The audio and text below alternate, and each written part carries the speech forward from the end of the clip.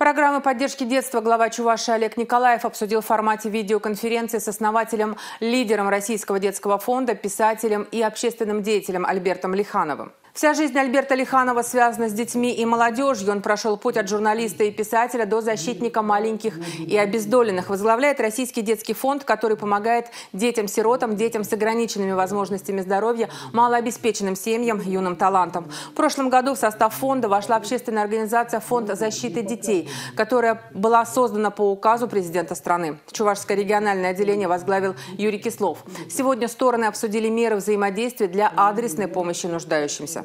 В этом году э, работа э, по вот, общественной организации по поддержке детей, она выходит на новый уровень. И здесь мы, конечно же, намерены максимально поддерживать деятельность этого фонда, регионального представительства вашего фонда, которого вы возглавляете, э, с тем, чтобы он работал максимально эффективно и вот эта совместная деятельность приносила максимальную пользу.